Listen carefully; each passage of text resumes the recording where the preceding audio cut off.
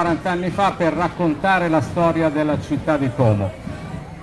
Il Palio del Baradello racconta le vicende di Federico I di Svevia, detto Federico Barbarossa.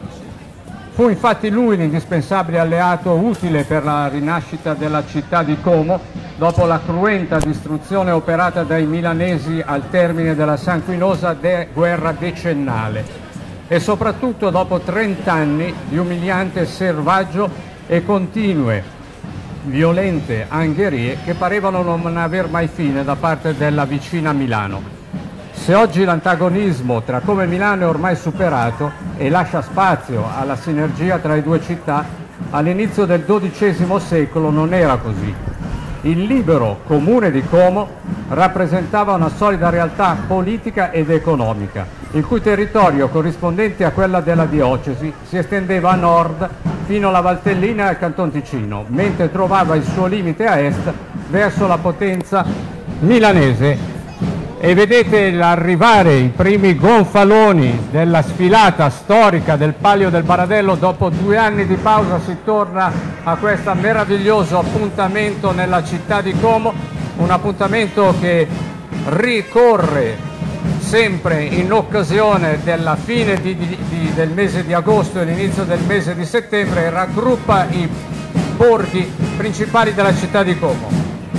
Eccoci quindi ad aprire la sfilata del Palio del Baradello, le croce rossine volontarie della Croce Rossa,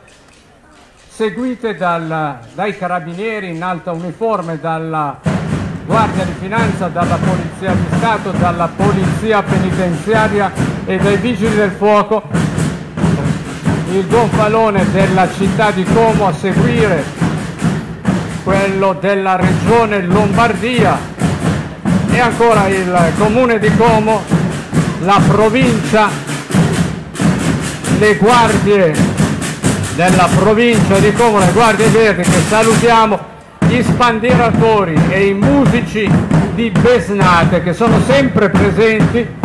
alla città di Como non fanno mai mancare il loro apporto in occasione del,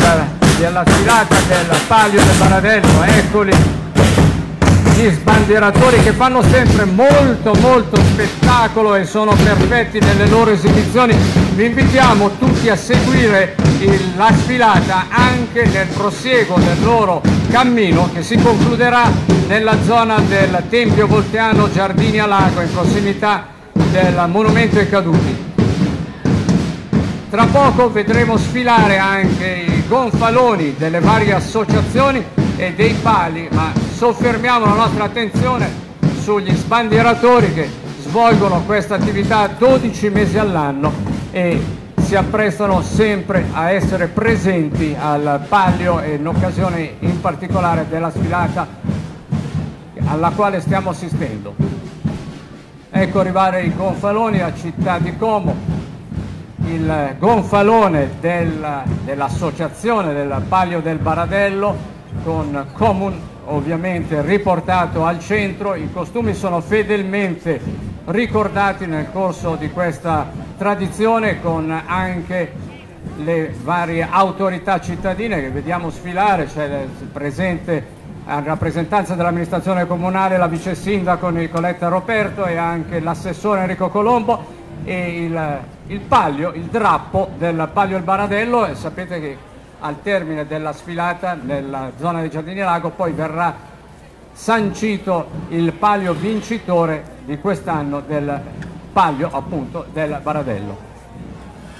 Sfilano ora i gonfaloni e le rappresentanze dei, dei rioni del palio Cernobbio in primis, vincitore della scorsa edizione con i consueti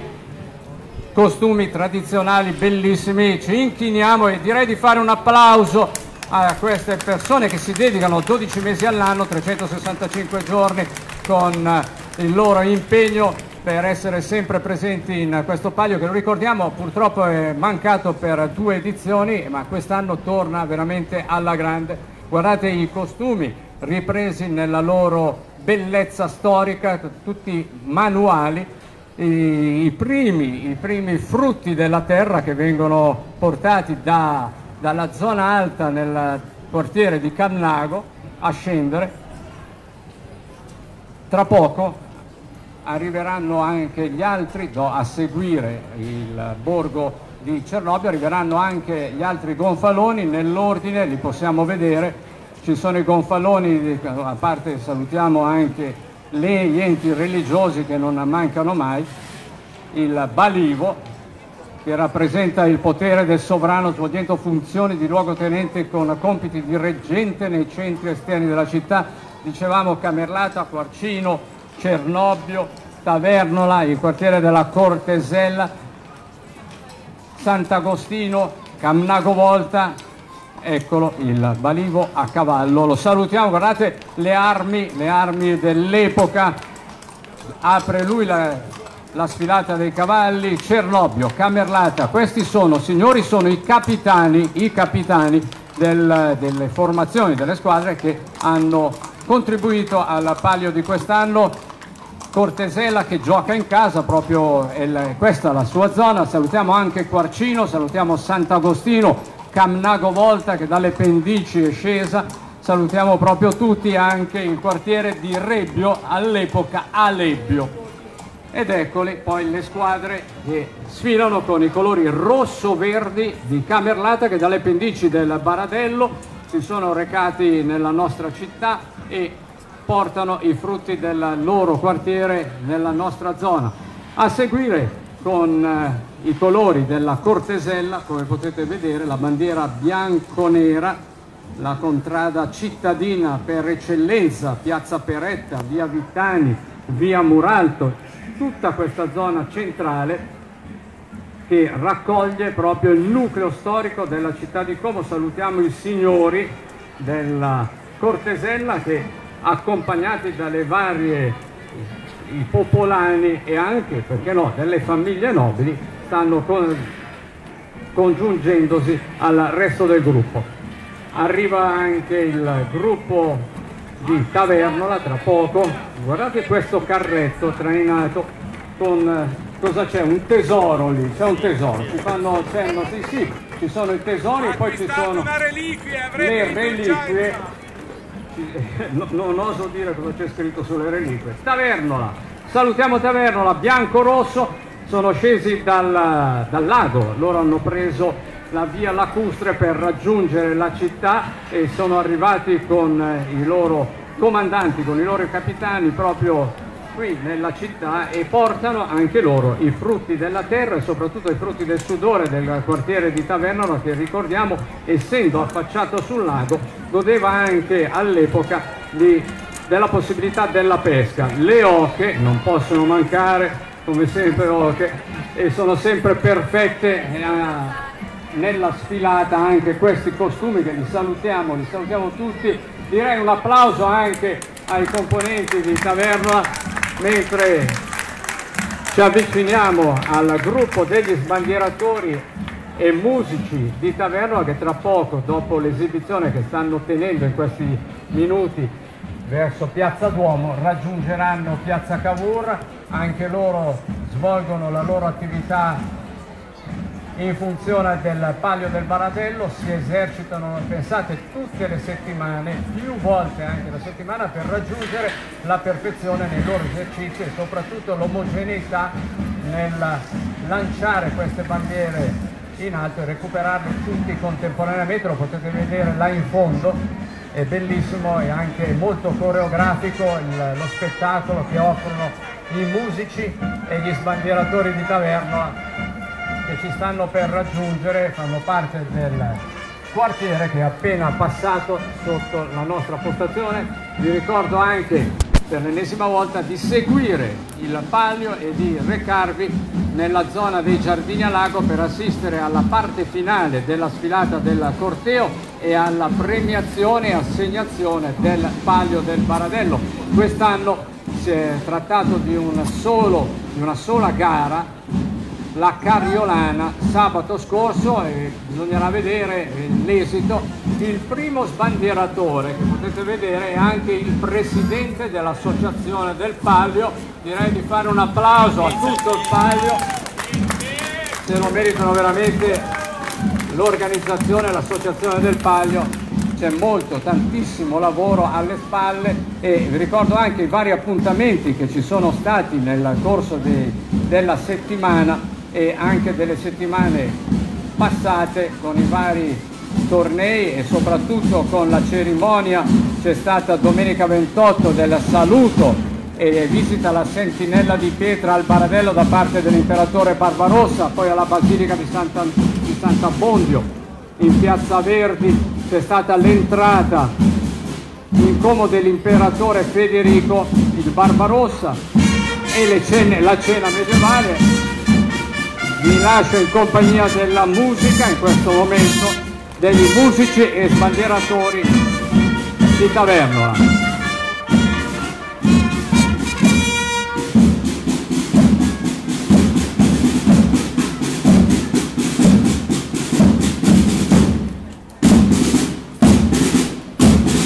applauso a queste persone che si dedicano veramente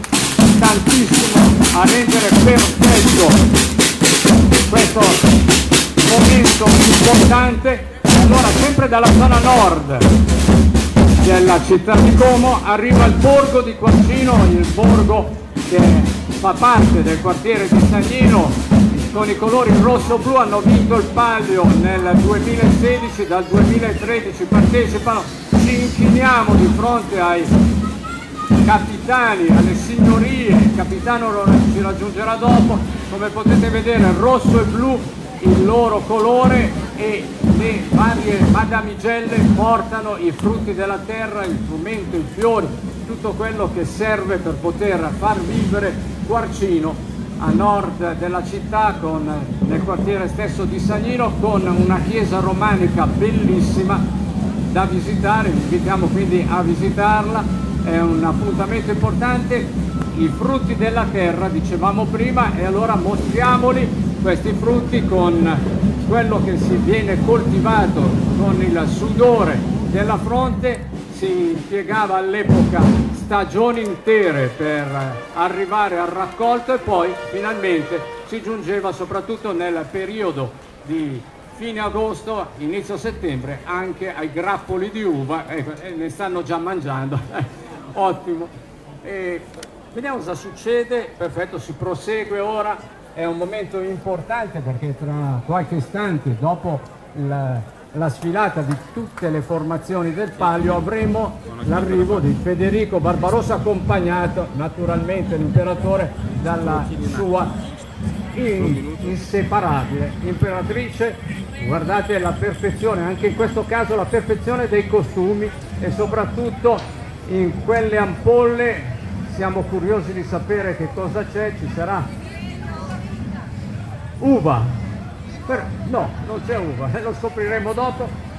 Passiamo con i colori marrone e giallo al quartiere di Sant'Agostino alla Coloniola, un quartiere storico, dopo il quartiere della Cortesella, un quartiere cittadino importante, la loro funzione per tutta la città, soprattutto nella zona a est verso il molo di Sant'Agostino che tutti ormai conosciamo benissimo, è un quartiere fatto di tante viuzze e popolato da tante attività artigianali, immaginatevi proprio all'epoca del Barbarossa quante cose sono successe in quel momento. Il quartiere di Sant'Agostino, colore giallo e marrone, si può proseguire con il, la sfilata, bellissimo anche gli arabeschi su questi costumi, ve li facciamo notare su un damascato blu, su fondo blu color oro, anche qui le rose, le rose a segno della delle coltivazioni del lago. Arriva Alebium. Alebium è un quartiere che oggi si chiama Reggio, in prossimità del Baradello, ha origini lontane, origini storiche anch'esso. I colori, come potete ben vedere, sono l'azzurro e il bianco. Azzurro e bianco a significare i colori della solarità, i colori della giovialità. Alebbio era un quartiere piuttosto pianeggiante, anche se su un'altura, erano le prime alture, Barbarossa aveva fatto del Baradello la propria torre per visionare soprattutto eventuali attacchi e il quartiere di Rebbio era posizionato proprio al di sotto. Arriva anche il, quartiere, il borgo di Camnago Volta che questa volta ci porta dall'altra parte del, della, del territorio cittadino. Se prima stavamo sotto il Baradello, adesso invece andiamo sotto le pendici dalla parte di Brunate. E allora un inchino direi di fare anche un applauso ai, agli amici del borgo di Camnago Volta, l'importante borgo Volta, immaginate Alessandro Volta cosa sta a significare questo scienziato illustre che dà proprio il nome a Camnago. Costumi ancora per la delegazione di Canturio che arriva a fare la presenza qui importante, cioè, la cittadina di Cantù è fuori dalla diocesi eh, di Como e allora ecco anche la rappresentanza dal punto di vista religioso e delle signorie che hanno voluto rendere omaggio alla città di Como. Tra poco anche la città di Lugano arriverà a rendere omaggio a Federico Barbarossa perché all'epoca i confini non erano quelli attuali, lo ricordiamo ancora una volta, la diatriba, la guerra che era stata scatenata tra le città di Como e di Milano ha visto coinvolte tantissime eh, entità storiche, tra le quali anche la città di Lugano, oggi presente qui, li ringraziamo la, le, sempre, come potete vedere, ad aprire un'autorità religiosa e la dama con questo bellissimo eh, abito, costume verde. Bellissimi anche i signori di Lugano, li salutiamo, ci vuole un applauso anche per loro, li ringraziamo per essere stati con noi, che non mancano mai, non mancano mai di essere presenti. Prosegue la sfilata bellissima anche la damigella che ha a, a cavallo con un cavallo prisone fantastico. E qui attenzione perché ci troviamo con i gonfalonieri imperiali. Bianco-nero, l'aquila imperiale e vuol dire questo che si sta per avvicinare il momento importante dell'arrivo dell'imperatore che lo vedete a cavallo scortato appunto dalla, dai, dalla sua guardia imperiale ed eccolo arrivare Federico Barbarossa a liberare la città di Como, un applauso a Barbarossa, bellissimo anche lui con la corona. E direi che al suo seguito, dopo Federico, arriva la cavalleria imperiale, non abbandonano per un istante il proprio imperatore, la cavalleria a protezione con il comandante vero, il comandante vero della cavalleria che difende l'imperatore, Enrico il Leone. Guardate lo, lo stemma imperiale sul suo mantello e anche lui viene scortato dalle sue guardie e dalle sue madamigelle. L'insegna d'onore del palio, le ancelle dell'editto preannunciano l'arrivo dell'imperatrice Beatrice a cavallo nella sua bellezza alla prima presenza oggi alla Paglia del Baradello l'imperatrice. Applaudiamola a lungo perché è lei che ha in mano le sorti assieme all'imperatore Federico Barbarossa l'imperatrice Beatrice bellissima seguita dalla duchessa di Zaringen. A cavallo anche lei l'imperatrice nei colori rosso mentre la duchessa nel colore bianco e verde. Non possono mancare poi le sale d'arme Stella Splendes e notate le coppie a due a due delle varie dame della corte imperiale seguono le,